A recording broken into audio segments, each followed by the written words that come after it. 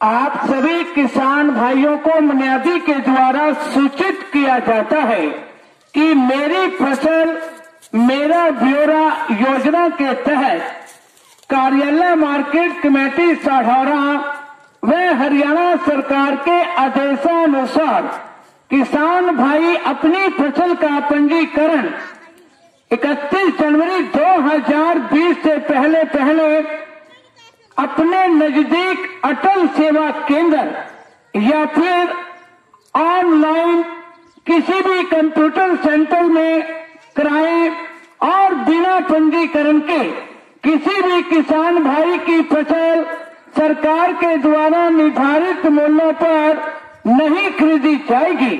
इसलिए किसान भाइयों से निवेदन है कि वह अपनी फ़सल का पंजीकरण जल्द से जल्द कराएँ का लाभ उठाएँ। अधिक जानकारी के लिए आप संपर्क कर सकते हैं। कार्यालय मार्केट कमेटी, साहोरा।